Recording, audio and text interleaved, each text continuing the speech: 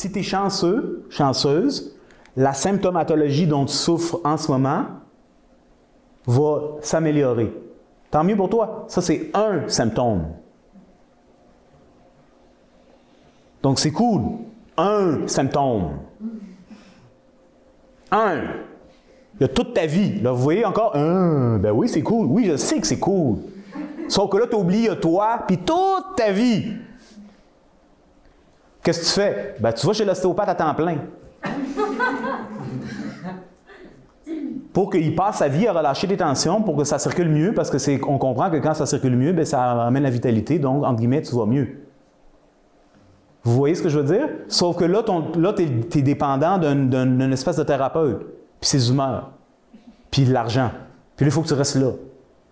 Suite à ça, lui, il y a une limite. La limite de pouvoir accéder dans la subtilité de toi. À moins qu'il soit vraiment, vraiment, vraiment bon, mais encore là, s'il est vraiment bon, il sait qu'il ne peut pas rentrer là, à moins que tu lui donnes le droit. Puis si tu lui donnes le droit, ben, c'est un autre type de travail. Euh, ça, c'est vraiment une petite tangente pour ceux qui comprennent ces folies-là. Est-ce que vous me suivez? Donc, essentiellement, ça n'a pas de sens que ta vie soit mise dans les, dans les mains des autres.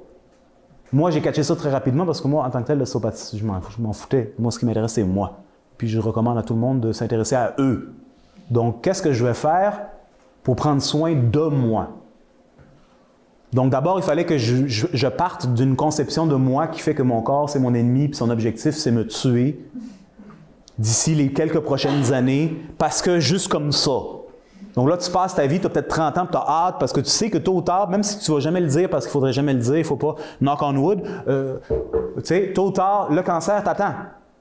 Mais on ne sait pas c'est quoi le cancer. Sur là, tu espères que d'ici que toi, tu auras cet âge-là, ils auront trouvé la solution du cancer, mais entre-temps, au moins, il y a la chimio que tu as vu. Moi, j'ai 40 ans, je l'ai vu, j'ai vu les, qu'est-ce que ça fait chez, chez le monde, j'ai plus 22 ans, tu. T'es comme, tabarnouche, j'imagine, c'est moi ça, sais.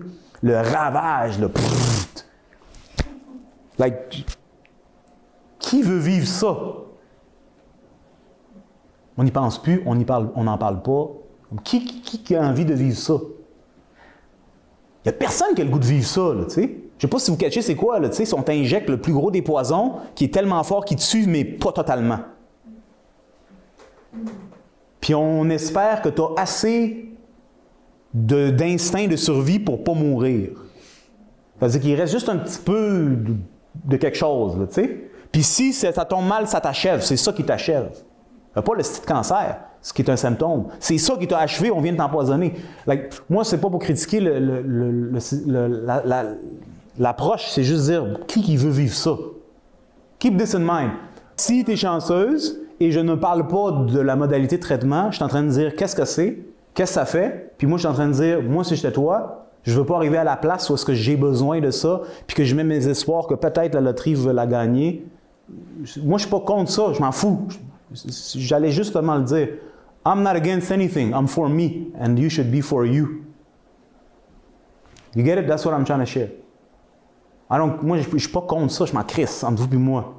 Bah, if you do, chaque personne a sa vie, moi j'ai ma vie, puis je suis une personne intelligente, puis le bon Dieu m'a donné l'intelligence, puis je suis comme bon. Si ça, c'est ce qui se passe avec les humains, moi, c'est pas un destin qui m'intéresse. Je respecte qu'il y a des gens qui sont là-dessus, puis si ça, ça leur permet de continuer comme ça a fait pour toi, je suis content, puis tant mieux. Moi, je ne veux pas ce destin. Je, ne vois pas, je ne, je ne souhaite ça à personne. Et moi, comme, comme tout le monde, ma famille, mon père, ma mère, ma grand-mère, like, you know, I'm like, this is a, such a hard place to be. Je ne peux pas imaginer qu'est-ce que tu as eu à vivre. Je peux juste le voir de dehors. Puis je, suis content pour toi, je suis plus que content pour toi, tu es chanceuse. Merci mon Dieu que tu as une deuxième chance, ou une troisième chance, ou peu importe, que tu as une opportunité, mais tu es chanceuse même de penser comme tu penses. Mais d'être quand nous, on arrive en tant qu'être humain à cette place-là, c'est quelque chose qui, je suis comme, ben pourquoi? Je veux pas arriver à être dans cette place-là. Et l'idée que c'est ça l'inévitable, pour moi, c'est de la bullshit. J'y crois pas. Ça marche pas pour moi. Puis c'est pas, ça n'a pas de sens. Donc c'est pour ça que je suis qui je suis, puis c'est pour ça que je fais qu'est-ce que je fais. Donc, comme un, jeune, un jeune homme, ben, tu t'arrêtes deux minutes. Moi, j'ai eu cette opportunité. Ça s'appelle fumer du pot. J'ai arrêté. Je, je, pensais à mes affaires. J'ai dit, bon,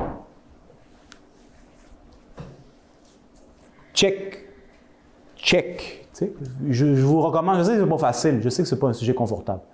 Je veux pas offenser quelqu'un, s'il vous plaît, prenez-le pas personnel. Mais c'est ma job, je veux, faire ma job, on achève. Quand on s'arrête deux minutes, cinq minutes, dix minutes, puis on laisse faire les Canadiens de Montréal, puis la nouvelle robe, puis la nouvelle blouse, puis qu'est-ce que lui a dit, puis qu'est-ce qu'elle a fait, tu sais, c'est le non-sens. Puis juste pour un instant, tu te considères, toi, ta vie, où est-ce que ça en va, puis tu regardes la société, puis tu regardes les gens qui t'entourent, puis tu sors de la cassette que tout le monde va super bien, puis tu files les gens, puis tu vois. Ben c'est même pas caché, là, tu sais, faire la queue leu j'avais écrit un article là-dessus, tu sais, c'est comme...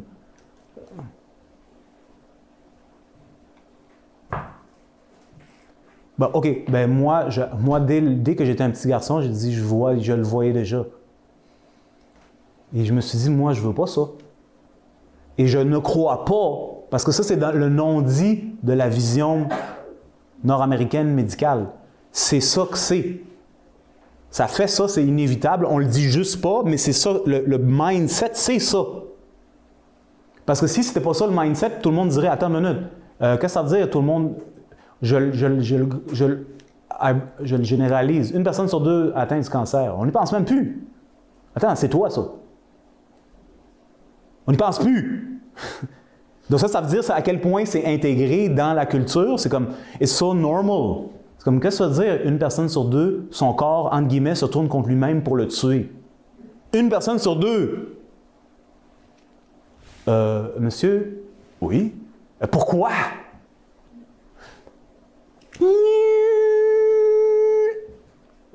Parce que tu vois, dans une cellule, il y a une affaire qui s'appelle je comprends, mais qu'est-ce que ça veut dire, ça? Qu'est-ce que ça veut dire, qu'est-ce que tu me dis? Je ne sais pas si vous comprenez ce que je veux dire. Je sais que je, parle à propos de la religion du, nouvel âge, tu sais. Qu'est-ce que tu veux? Somebody gotta do it, so I do it. Qu'est-ce que ça veut dire? Là, la génétique, c'est un concept que toi, peut-être, tu connais parce que toi, tu es smart, mais moi, je suis pas smart comme toi, a fait ça, puis là, ça a décidé que ça veut me manger. Hé, Chris, je comprends, je respecte ça. Tout d'abord, de quoi tu parles? Deuxièmement, pourquoi? Troisièmement, j'ai-tu le goût de vivre dans cette réalité-là?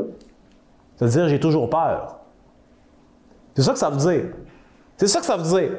Tout le monde vit dans cette peur-là. C'est comme, tu sais, quand aux États-Unis, dans les années, je sais pas, when there was the nuke, ou les, les affaires de guerre nucléaire, là, tu sais, puis il y avait toujours la peur que les Russes envoient une bombe nucléaire. Là, tu vis toujours dans le peut-être que là, on va aller sous le bureau parce que là, ça va nous protéger. You're always under the threat of, même si on n'en parle pas. Aujourd'hui, c'est une bonne journée, mais à n'importe quel moment, tu es déjà prêt que l'alarme part. Là, oh shit, on va se mettre sous le bureau, on va être protégé de la bombe atomique. So, nous, on vit dans une atmosphère comme ça, on s'en rend même pas compte, puis on l'accepte comme du cash, parce que si tu ne l'acceptes pas, tu es fou. OK? Parce que, comme, ben, excuse-moi, c'est parce que ta théorie, là, euh, veut dire que, un, la vie est conne, deux, mon corps est con, trois, et peur sans arrêt pour toujours, et puis peut-être que nous, on va te sauver. Hey, il y en a un Jésus, puis c'est pas toi. That's it. Est-ce que vous comprenez ce que je veux dire? C'est juste une parenthèse sur Jésus, hein, ça pourrait en affaire avec Jésus. Moi, I'm talking, I'm being straight with you people, right? moi, moi, I don't buy that. Chacun achète le char qu'il veut. Pas pour moi, ça. Non, merci. Merci pour ton offre, c'est généreux. J'apprécie ton explication. J'apprécie qu'est-ce que tu fais pour les gens qui sont dans cette situation. Moi, je ne veux pas acheter cette voiture. Mais merci pour ton offre. Donc là, voici ce que ça a fait. Quand j'ai dit non merci, je me suis retourné de bord, j'ai dit fuck. Qu'est-ce que je fais là? Je sais rien. Au moins ici, j'ai l'impression de savoir, puis j'ai l'impression que quelqu'un va m'aider. Ça, ça m'amène, je je sais pas quoi, mais c'est une sécurisation sans sécurité. C'est comme, je préfère être dans une cage où est-ce que je sais que je vais me faire couper la tête, mais je sais que c'est peut-être dans un futur qu'aller dans l'inconnu, où je sais rien, puis qui, Dieu sait qui habite là-bas, qui vont peut-être me manger. J'ai fait ce choix-là il y a très longtemps, puis pour moi, c'était, je, merci mon, encore, merci mon Dieu, que j'ai fait ce choix-là, puis je suis allé, en guillemets, dans cet inconnu-là, et j'ai passé, ça fait 20 ans que je fais ça, j'étudie sans cesse. Et mon étude, c'est pas une étude théorique, elle est aussi théorique, c'est dans le concret. Moi, mon corps, je le connais de A à Z. Puis, ce que, puis je parle pas dans ma tête parce que j'ai lu de l'anatomie, je m'en calisse l'anatomie. Je le, je le vis. Ce que je vous parle, c'est un peu la théorie. J'essaie de mettre des mots pour vous, vous faire m'entendre, pour vous dire Yo, c'est vivant, c'est pas con. Puis si tu vis dans, un univers où est-ce que ton paradigme fondamental, ça veut dire l'atmosphère dans laquelle tu vis, c'est que la nature est pas vivante, ça veut dire est pas intelligente, c'est que donc par défaut, tu as peur. Sur quoi tu vas compter? Puis quand ça c'est rendu que c'est occulte ou mystique, c'est comme on est fucké. Sur quoi tu vas compter? Moi, je sais sur quoi je vais compter. Demain matin, le soleil, il se lève.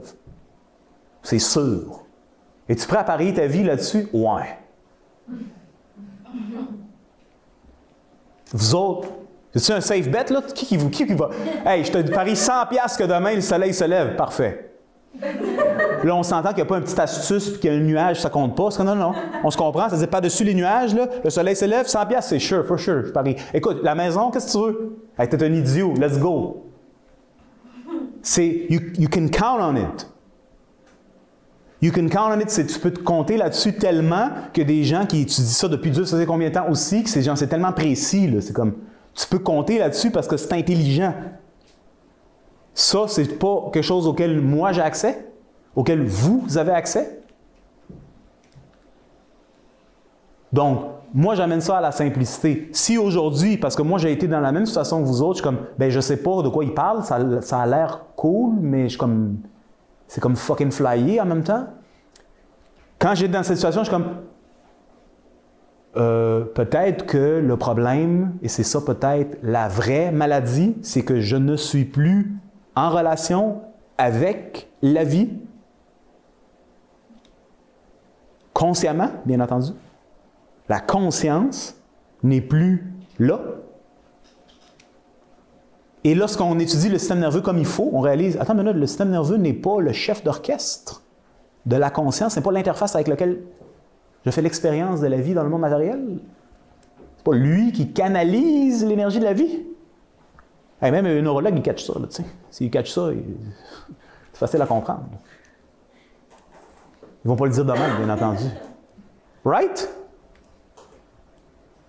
Ah non, ah non, je sais que ça sonne un peu flyé. Vous pensez qu'on allait parler de mal de tête. Qu'on a fait, je pense qu'on a bien fait aussi. Merci à Alexandra, merci à Mme Véronique, merci à tout le monde pour cette grande écoute sur le mal de tête. Puis on peut retourner dans les molécules, ça me fait plaisir. Puis dans, le crâne, parce que tout ça, c'est l'expression de la vie. En gros, là, avant que je vous redonne la parole, merci de m'entendre. Moi, ma job, c'est exactement ça. C'est de faire knock-knock, là, et puis vous, vous dire le corps, il n'est pas con.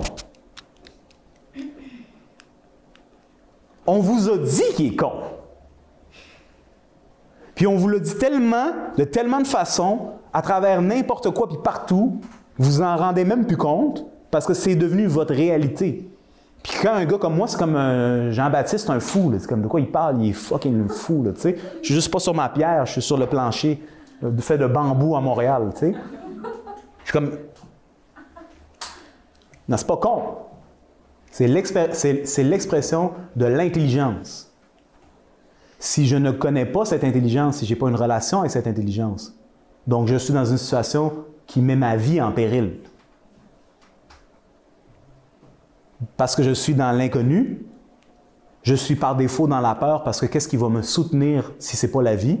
Ben, je veux dire, c'est qui qui va soutenir? C'est le gouvernement, puis la science. Puis moi, j'ai rien contre eux autres, sauf que je ne sais pas si vous avez remarqué, mais ils changent d'idée à chaque jour. Ah, C'est une science, c'est la vérité, sauf qu'ils ont changé d'idée. Ah, shit. Le soleil n'a pas changé d'idée. Demain, il va se réveiller à 7h, 6h28. Puis demain, ils savent à quelle heure il se lève? Il ne change pas d'idée, lui. On appelle ça de la stabilité. Et le système nerveux relâche lorsqu'il rentre en relation avec la stabilité. J'ai une longue journée au travail sur mes deux jambes, ça prend beaucoup de, ça prend je m'assois sur la chaise, c'est stable. Ah! Mon système nerveux relâche lorsqu'il a accès à la stabilité. Hey, tabarnouche!